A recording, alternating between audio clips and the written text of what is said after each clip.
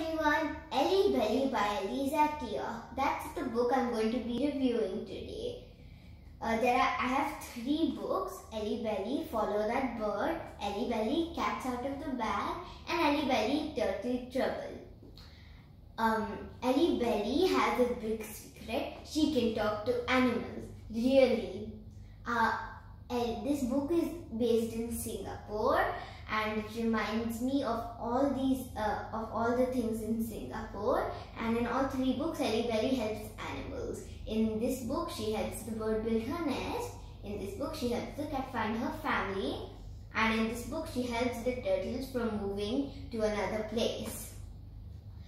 Uh, I wish I could talk to animals too and I like them a lot. Okay friends, if you see this book, have a look at them and if you buy this, enjoy it a lot. Bye!